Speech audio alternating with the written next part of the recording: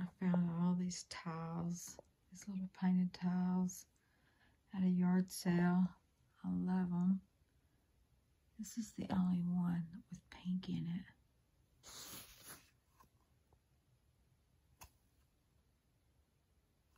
see, they're just, they're numbered.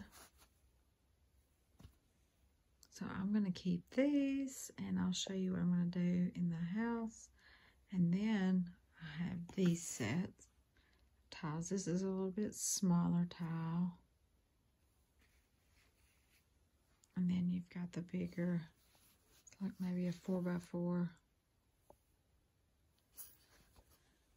So some of these I'm gonna put up at my daughter's house. I do like a little collage. I don't know yet. I'm gonna take them down there later today and see. And then what I don't keep, I'm going to take to the shop.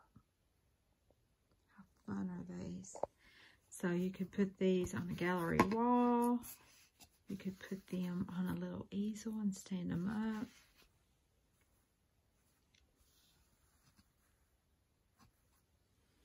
I think this is my favorite. Man, I love these with the pinks in them.